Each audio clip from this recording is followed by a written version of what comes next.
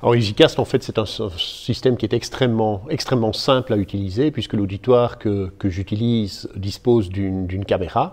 Donc, si on demande euh, via la, plateforme la, réservation au, au, service technique, on a un excellent support et donc, on, peut retransmettre un cours, soit euh, qu'il soit podcasté, soit qu'il soit retransmis dans un autre auditoire, ou comme c'est mon cas, euh, je le retransmets directement sur Internet, de telle manière à ce que les étudiants puissent éventuellement euh, rester chez eux, prendre leur tasse de café et, suivre le cours à distance. Alors cela, je le fais tout simplement parce que je n'ai pas assez de place dans l'auditoire pour, pour, asseoir, pour asseoir tout le monde. Donc c'est la raison de, de ce choix.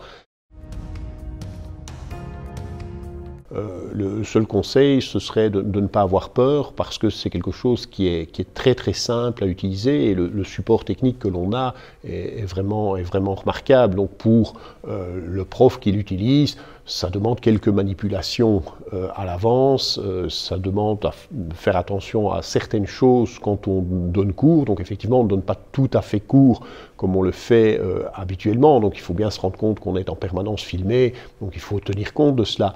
Euh, mais à part cela, ça n'a rien, ça n'a rien d'effrayant. Pour ma part, j'ai fait deux répétitions avant le cours et, le premier cours que j'ai donné pour la première fois la semaine dernière, je dirais, c'est passé sans la moindre anicroche.